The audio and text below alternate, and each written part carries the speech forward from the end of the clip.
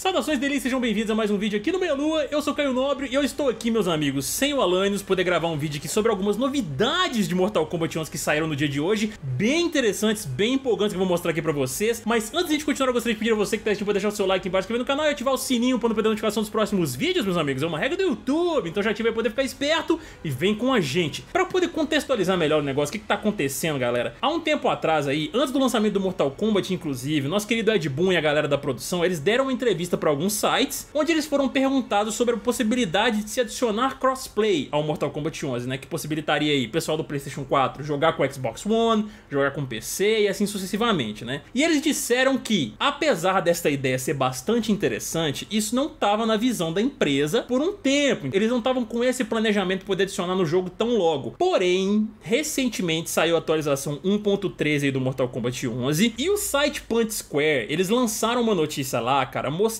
que um youtuber chamado Rufflemonger, que inclusive a gente aqui no Meia Lua acompanha o trabalho do cara, inclusive eu recomendo que vocês assinem o canal dele lá, que é bem interessante, faz conteúdos de jogos de luta variados e tudo mais, é bem legal as informações que ele passa. Ele chegou a twittar com relação a esse patch novo que saiu hoje, dizendo que lá no histórico de atualizações informava que esta atualização estaria trazendo o nosso querido crossplay, pra gente poder jogar entre diversas plataformas aí. E eu tô com a tela do Mortal Kombat aqui, isso aqui é da minha plataforma, entendeu? Do meu Playstation 4, e eu vou mostrar pra vocês agora que está devidamente atualizado, ó. Vou entrar aqui e em histórico de atualizações já atualizei para 1.3 também.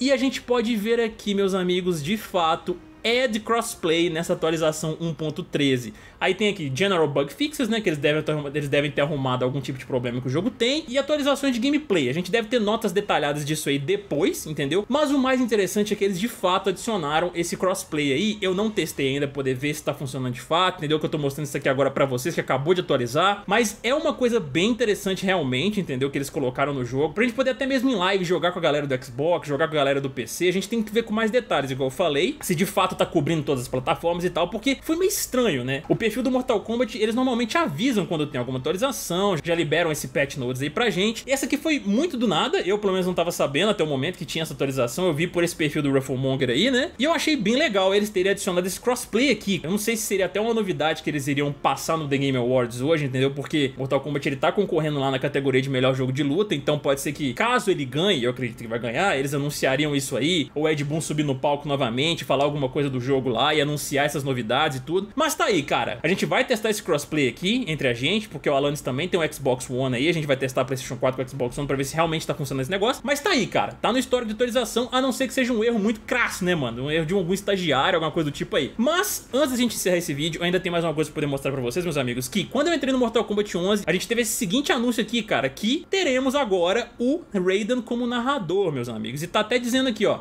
assina a nossa newsletter para receber a voz do narrador de Raiden, mil cristais do tempo, e-mails personalizados e oferta da WB Games. Então já tem aqui, cara, o processo para você assinar essa newsletter e receber o Raiden. Eu vou fazer isso aqui logo depois que eu terminar esse vídeo. Porém, eu ainda tenho mais uma coisa interessante para poder mostrar para vocês com relação a Combat League, que é um negócio aí que muita gente sofre, inclusive a gente, quando a gente tá jogando ali, né, com relação a diferença de ranks e tudo mais. Tô deixando aqui no perfil da NetherRealm Studio para vocês verem que eles atualizaram a quantidade de pontos que a gente pode perder quando a gente perde uma luta na Combat League. Que você se lembra muito bem que a gente perdia ali, cara, 100 pontos facilmente quando a gente tava num rank mais alto, enfrentava um cara num rank mais baixo, porém que era tão habilidoso quanto a gente é, ou até mais, entendeu? A gente perdia uns 100 pontos ali fácil. Era muito comum isso acontecer na Liga de Combate. Agora, de acordo com esse tweet, eles reduziram a quantidade de pontos que a gente pode perder em uma luta para 50 pontos, ou seja, sem mais perda de 100 pontos aí, graças a Deus, que arrebenta o nosso progresso. Então isso é uma coisa que eu achei bastante interessante, e como muita gente tem comentado ali agora, vocês estão vendo aí embaixo nos comentários da galera,